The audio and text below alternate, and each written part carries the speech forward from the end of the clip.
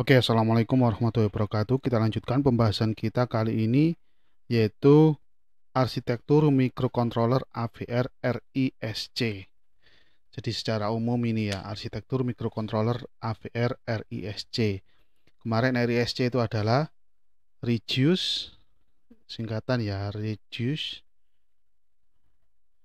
instruction set computing. Dan yang versi terdahulunya itu adalah CISC ya. CISC. C-nya yang awal ini kompleks. Ah. Oke. Nah, ini saya tampilkan gambarnya dulu. Oke. Ini blok diagram of AVR MCU arsitektur. Ini blok diagram dari arsitektur MCU AVR. MCU ini singkatan dari microcontroller unit ya. Microcontroller unit. Microcontroller unit. Microcontroller unit MCU. AVR menggunakan arsitektur Harvard dengan memisahkan antara memori dan bus untuk program dan data. Nah, tujuannya untuk apa? Tujuannya untuk memaksimalkan kemampuan dan kecepatan dalam kurung paralelism. Hubungannya dengan pipelining yang ada di AVR ini. Di AVR ini ada pipeliningnya. Oke, uh, eh, AVR menggunakan arsitektur Harvard. Nah, AVR ini kan termasuk mikrocontroller. Nah, umumnya menggunakan arsitektur Harvard. Untuk mikroprosesor, kemarin kita sempat menyinggung mikroprosesor.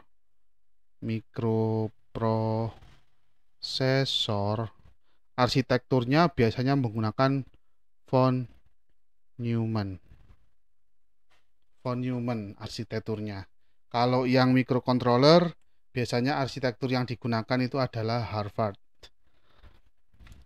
Dengan memisahkan antara memori dan bus dengan memisahkan antara memori dan bus untuk program dan data. Jadi kalau kita tulis di sini ada e, memori program program dan memori data. Begitu juga busnya, busnya itu ada bus program dan bus data. Nah, semua ini terpisah. Antara memori program dan memori data ini terpisah. Jadi terpisah. Dalam arsitektur arsitektur mikrocontroller AVR ini terpisah semua antara memori program dan memori data terpisah. Begitu juga bus program dan bus datanya terpisah. Tujuannya cuma satu untuk memaksimalkan performanya atau kemampuannya dan kecepatan dalam kurung paralelism di sini. Paralelisme. Saya lanjutkan instruksi dalam memori program dieksekusi dengan single line pipelining. Nah, pipelining jadi pipelining di sini tujuan utamanya itu untuk meningkatkan kecepatan eksekusi program. Nah, instruksi dalam memori program, dalam memori program perlu diingat ini memori program dieksekusi atau dijalankan dengan single line pipelining. Nah, ini yang dimaksud single line pipelining. Saya tulis di sini single line pipe lining itu di sini ya cirinya itu instruksi yang diambil instruksi yang diambil itu belum bisa dieksekusi selama instruksi sebelumnya itu selesai dieksekusi. Jadi seperti itu. Saya tulis saja ya biar jelas instruksi instruksi yang sudah diambil di sini fetch ya. Nah, di sini ada istilahnya fetch. Di sini di sini juga ada fetch. Nah, instruksi yang sudah diambil itu belum bisa dieksekusi jika nah, jika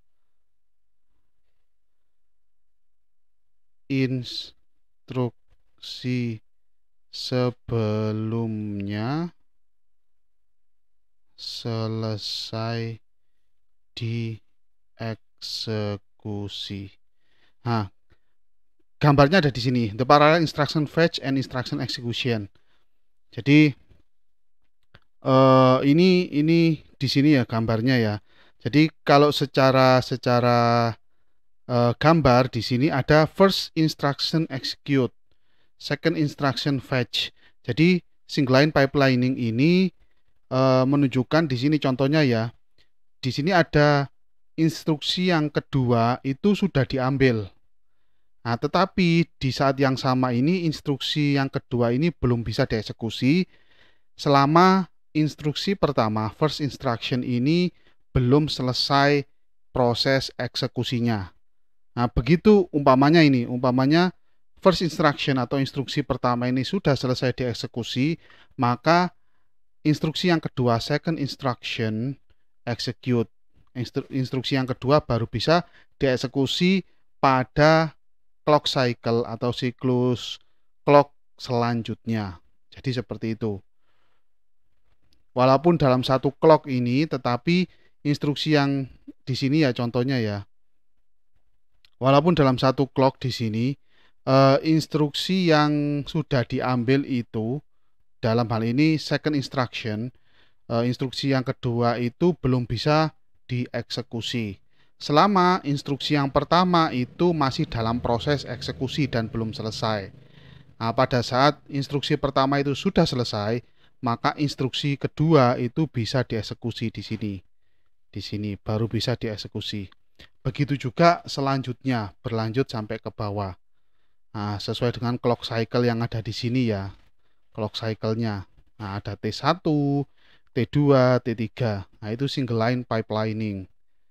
Itu instruksi yang sudah diambil dalam kurung fetch belum bisa dieksekusi jika instruksi sebelumnya nah, sebelumnya selesai jika instruksi sebelumnya belum belum selesai dieksekusi ya ada tambahnya belum selesai dieksekusi atau masih dalam dalam kurung dalam proses eksekusi.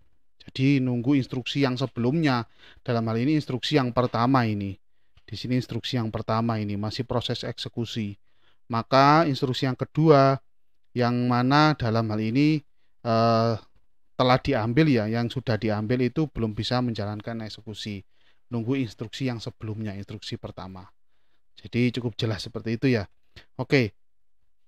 Di mana ketika satu instruksi dieksekusi, instruksi berikutnya diambil dari memori program.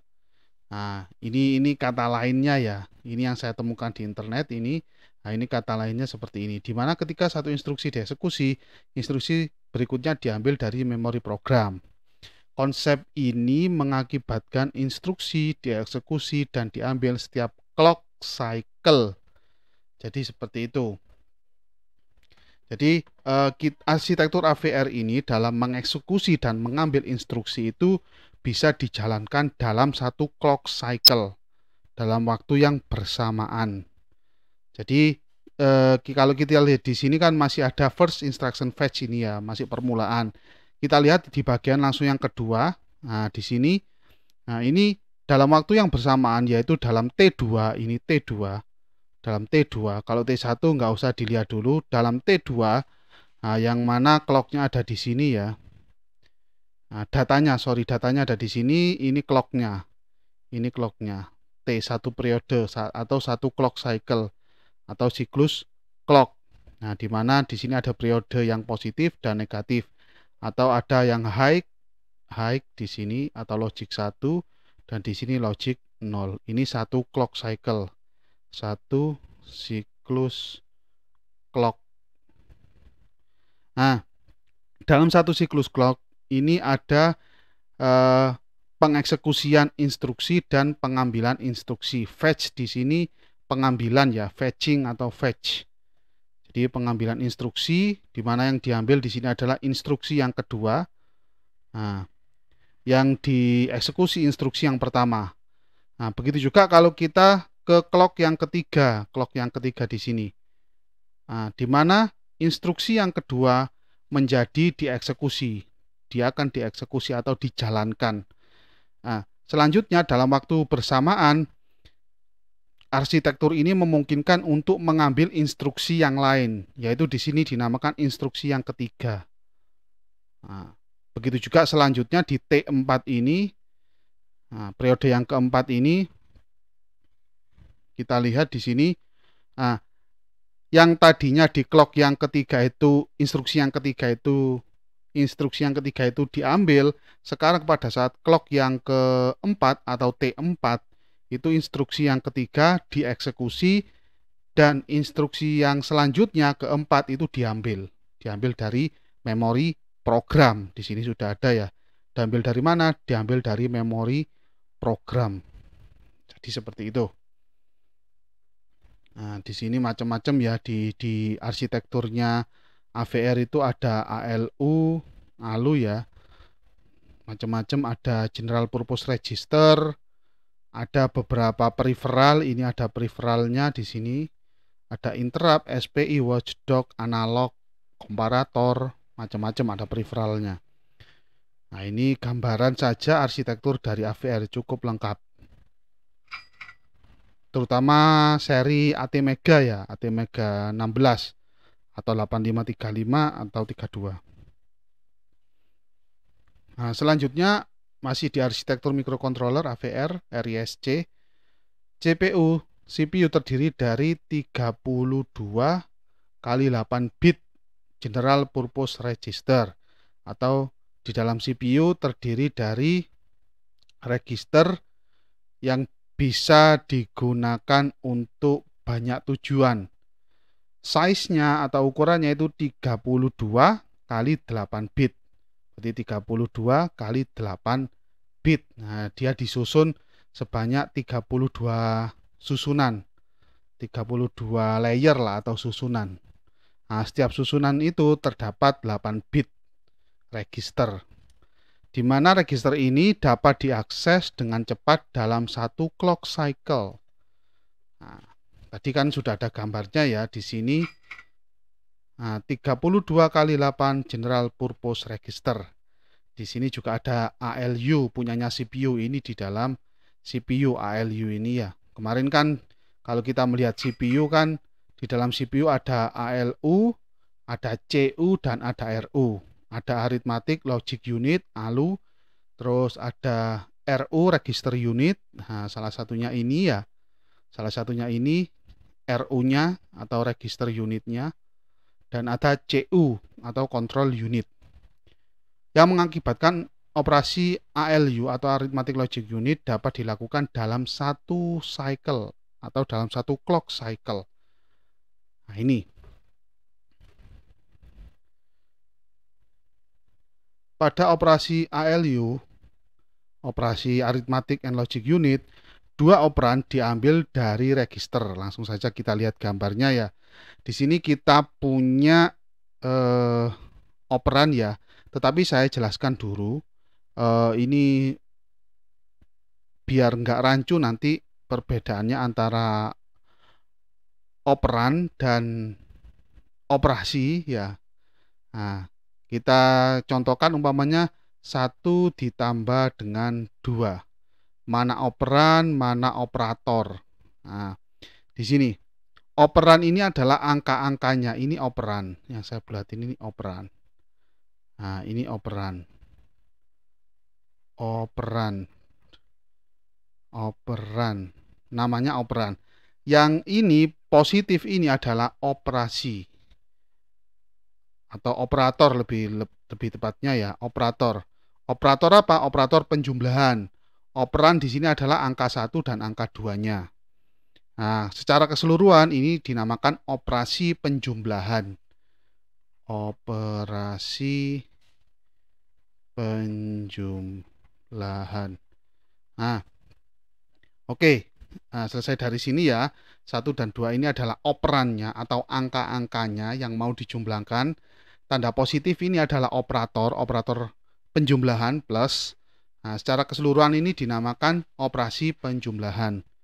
Oke, pada operasi ALU, saya ulangi, dua operan diambil dari register. Nah, operan yang dimaksud di sini ya, ini operan satu, anggap saja operan satu, ini operan yang kedua. Di sini eh, operasinya adalah OR ya, OR. Nah ini OR atau bitwise operation OR. Operasinya adalah operasi OR. Berarti operator yang digunakan operatornya OR. Nah ini dua operan diambil dari register operan 1 dan operan 2. Di sini eh, dinamakan input 1 nilainya 0x55 hexa. Ini hexa. Heksadesimal. Begitu juga yang ini input 2 0xAA ini heksadesimal juga. Heksadesimal. Nah, ini diambil dari register, diambil dari register. Kemudian operasi dieksekusi dan hasilnya disimpan kembali pada register dalam satu clock cycle. Nah, kemudian operasinya dieksekusi operasi OR antara input 1 dan input 2 di organ. Di sini ditulis angkanya 0x55 diorkan dengan 0xAA. Nah, di sini juga ada detailnya. Kalau Anda mau melihat ini detailnya. Ada input 1 di kalau 0x55 dijadikan bit atau biner seperti ini. Begitu juga 0xAA ini kalau dijadikan biner seperti ini dan outputnya akan menghasilkan 0xFF. Nah, selanjutnya hasilnya 0xFF ini disimpan pada register output. Register output 0xFF atau binernya 1111. Nah, dan proses pengambilan instruksi dan pengeksekusian instruksi berjalan secara paralel. Proses pengambilan instruksi dan pengeksekusian instruksi itu berjalan secara paralel.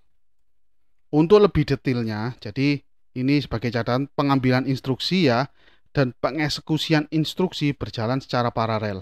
Kalau kita lihat single cycle ALU operation di sini, nah ini adalah diagramnya, gambarnya ya. Diagram di sini yang paling atas ini adalah clock CPU-nya. Ada T1, T2, T3, dan T4. Tetapi yang kita lihat T1 dulu. Yang kita lihat di T1 dulu. Yang dikatakan tadi kan pengambilan eh, pengambilan instruksi dan pengeksekusiannya berjalan secara paralel dalam satu clock cycle. Dalam satu clock cycle ini. Nah, ini eh, di bawahnya clock CPU ini ada total execution time. Perlu Anda lihat T1-nya mulai sini sampai sini ya, ini satu clock cycle. Total execution time ini mulai sama dengan T1 waktunya ya. Terus register operan fetch, pengambilan operan pada register. Nah, ini terjadi pada T1. Nah, terjadi pada T1. Terjadi pada T1. Nah, ini timingnya ini kan kurang lebih separuh dari T1 kan ya. Nah, ini pengambilan ini terjadi di sini. Kalau kita kasih nomor, ini nomor satu. Nah, di sini nomor satu. Selanjutnya ALU operation execute. Nah, dalam hal ini OR kan ya. Operasi yang digunakan adalah OR, operation OR. OR operation. Nah, ini nomor dua. Proses nomor dua lalu operation execute atau pengeksekusian ek, e, operasi pada arithmetic logic unit unit dalam hal ini adalah operasi OR. Nah, step yang ketiga itu result write back, nah, menulis hasilnya nomor tiga di sini. Nah, jadi ini semua nomor 1, 2, 3 terjadi pada T1. terjadi pada T1 atau terjadi dalam satu siklus clock T1. Nah, nanti umpamanya Anda mau menjalankan operasi N, N umpamanya pada T2, ya sama nanti. Eh, pengambilan operan pada register, pengeksekusian operasi pada ALU, terus menulis hasilnya, itu terjadi pada satu siklus clock yaitu T2 atau penjumlahan, pengurangan dan seterusnya. Nah, makanya di sini dikatakan dia berjalan secara paralel karena dia berjalan dalam satu siklus clock. Sudah bisa menyelesaikan tiga pekerjaan, yaitu mengambil nilai operannya pada register, terus mengeksekusi operasi pada ALU, terus menulis hasilnya. Itu terjadi pada satu siklus clock atau dia bisa dikatakan berjalan secara paralel. Jadi cepat sekali. Cuma butuh satu clock cycle, siklus clock.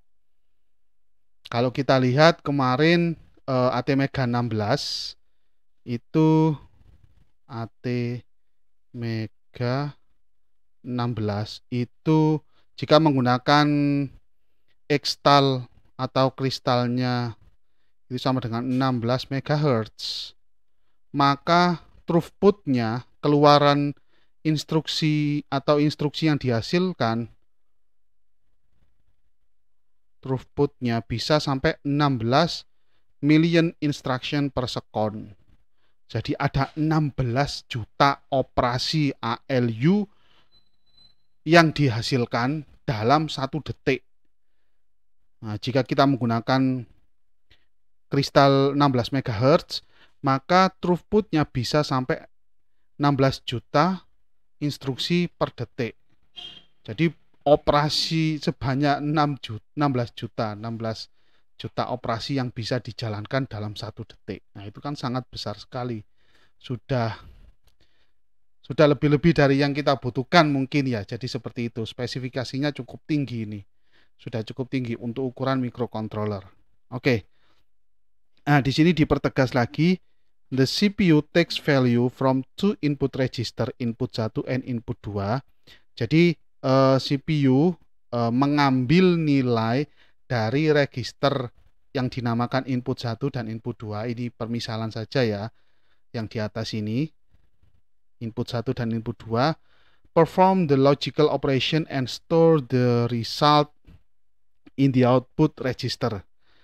Dan e, menjalankan operasi logika OR di sini, logical operation OR di sini, menjalankan operasi logika OR dan menyimpan hasilnya pada register output. Nah, semua proses ini, all this happen in one execution cycle. Semua ini terjadi dalam satu siklus eksekusi atau satu siklus clock. Dipertegas di sini. Oke, Uh, Oke, okay. untuk selanjutnya kita akan membahas General Purpose Register AVR 32 kali 8 tadi ya General Purpose Registernya. Oke, register ini akan kita bahas pada video selanjutnya. Terima kasih